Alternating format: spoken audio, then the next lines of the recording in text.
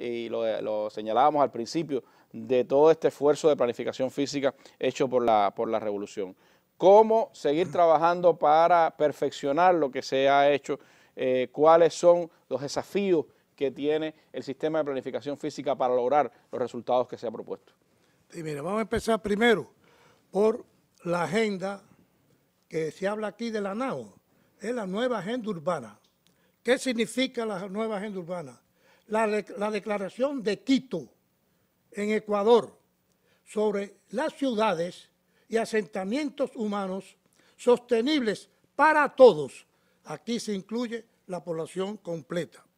Contiene el ideal común, los principios y compromisos, así como un llamamiento en pro del desarrollo urbano sostenible, lo que tú hablabas ahorita. Nuestro Consejo de Ministros aprobó el Plan de Acción Nacional para la implementación de la nueva agenda urbana como un plan de Estado, porque es muy importante, posee un carácter integral e impacta, escucha, en más de las 60 metas de los 17 objetivos de desarrollo sostenible, que todo todo ello incide en el bienestar de la población. Tenemos en cuenta que el plan de acción nacional, este que estamos hablando, que tú dices que va a haber una mesa redonda para su identificación total, se estructura en ocho ejes estratégicos, 24 líneas de trabajo y 74 acciones, de, eh, acciones preliminares para llevar a cabo su composición.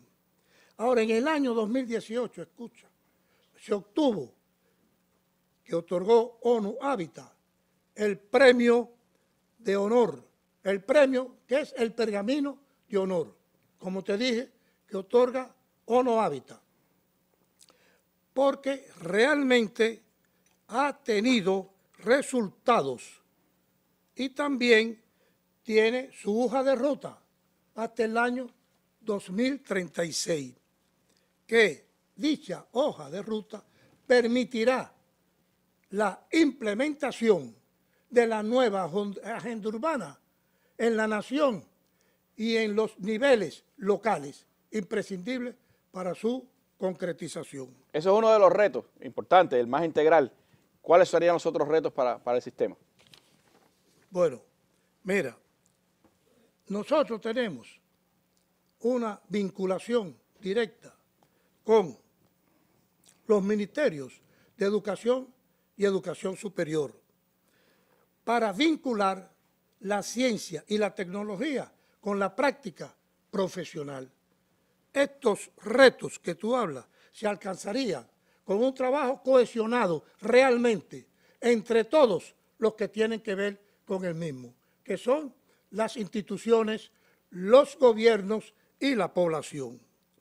El mayor desafío en estos 60 años que llevamos es contar con el otorgamiento jurídico, fíjate bien, disponer realmente de los planes de ordenamiento territorial y urbano aprobados por las asambleas municipales del Poder Popular, es decir, Randy, por los gobiernos, y que realmente estos planes de ordenamiento territorial y urbano se, se tengan como instrumento para la toma de decisiones de todos, incluida la población.